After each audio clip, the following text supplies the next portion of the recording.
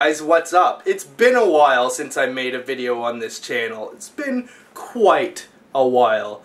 What I'm planning on doing is making videos more consistently on this channel. This is my Marino Vlogs channel, by the way. This is my second channel.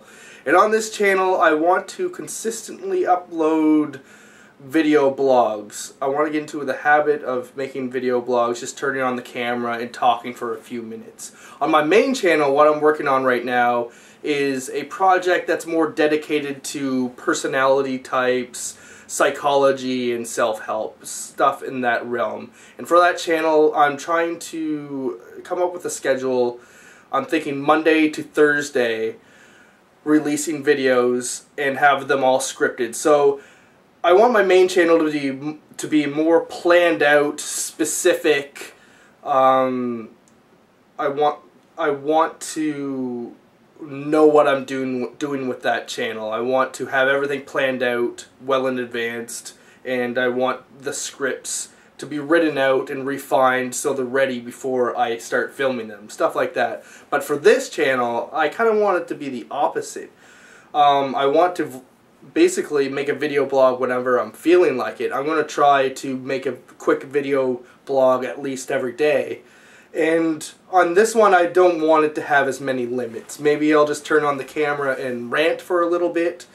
Maybe I'll just show you a little piece of my life. Maybe I'll just film something. Maybe I'll film a band that I saw one day. Or just test things out. Try some stupid comedy that I've never tried before or make a stupid video about nothing. Um, I don't know. But I want to have more of a consistent creative outlet that's more that doesn't have as many bounds. So I could just kind of have an outlet for every day. And yeah, so that's the difference between the two channels. I want them both to be fairly successful. Um, I've been trying to work on my main channel every single day for at least an hour. So after my shift at work, I tend to stay at work. Well, I started this week and I want to stay on this trend, but I stay an extra hour at work just writing scripts or doing a little bit of research. As long as I have that hour a day, a consistent hour a day, I feel like I'll be moving in the right track. At least making some progress every single day. And then maybe I'll stay sane. Because I know when I procrastinate, I just feel crazy.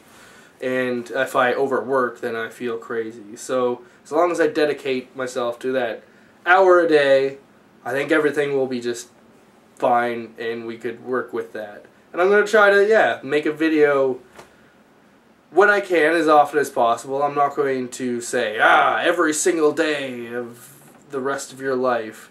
But I'm going to try to make a video here quite often. Alright. Uh, I will see you guys soon. Like, hopefully tomorrow. I think I'll, yeah, tomorrow. Tomorrow. I'll make a video tomorrow. Maybe. Probably. I'll try. We'll see. You'll see tomorrow, I guess. Alright, bye.